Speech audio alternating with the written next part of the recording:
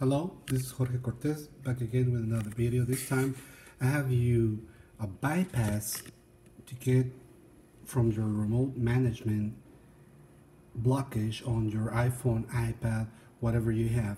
It could be an iPhone all the way from 5 to iPhone 8 and it's all the same for everyone. It doesn't matter what iOS you are on. You will need to go into this site here mdmbypass.com and it has a price. It costs $20 but you can tell them that I'm, you you saw it on my channel and he will give you a discount for it. Your screen has to look like this remote management. It could be from AT&T and a number of different companies that has this this kind of uh, management including uh, schools. Anyway you pay for it and you send your serial number here. And he will uh, give you access to his server. He'll put your uh, number on your server.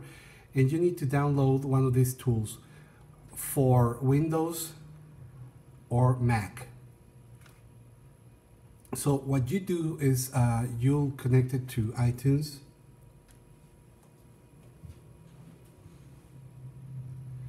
and uh, it goes like this because it doesn't have an iCloud issue. It it has a, an MDM issue. So what we do is we have to put it put our phone into DFU mode. And the way to do it is since this is, doesn't have a, a a physical uh, home button you do is press the power button with the volume down button at the same time for three seconds. Then you release the power button and keep holding the the volume down. Okay let's do it again. Power button and volume down button at the same time. Go. One two three four five six seven eight nine ten. Release power button keep holding the volume down button. And iTunes will recognize it. And there you go. So what you do is you restore it to a newest firmware firmware. Where it's already downloaded to me so what I'm going to do is I'm going to pause the video and start the the restore process. And it's already extracting the software this takes a little while, so I'll, I'll be back once it's done. Now that it has finished updating, you close iTunes and open up the tool, the bypass tool.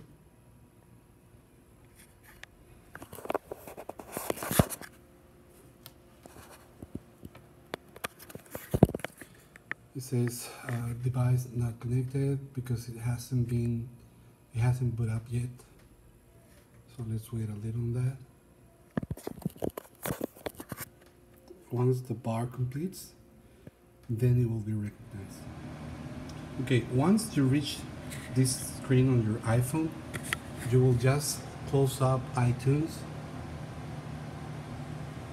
Go to the tool you downloaded from MDM bypass. You execute it. It will recognize your your iPhone or iPad. You press bypass. You wait for it. It's processing.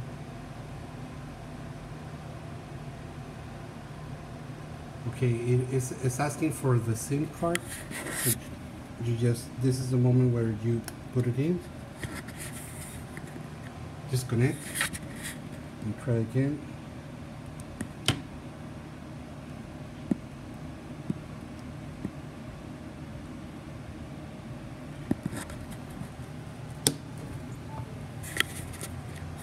Press OK. Bypass. Processing.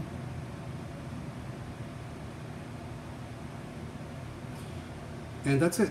the bypass is done. You press OK, and you just, as you can see, it says bypass device already bypassed. You go into your iPhone, you select your options, whatever you have there. Set up manually. You choose your Wi-Fi network. I'm gonna put it there.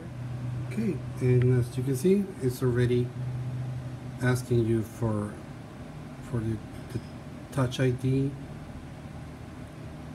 Let's set it up later. Don't use passcode options. Don't use a passcode for the moment. Don't use a passcode.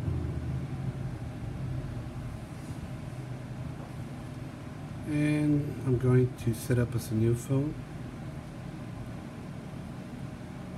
Set up later. Don't use. Agree. Continue. Don't share. Get started.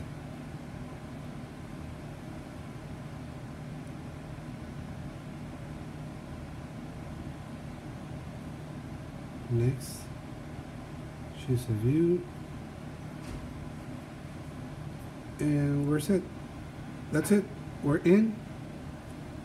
There you go. Like, share, subscribe. Bye bye.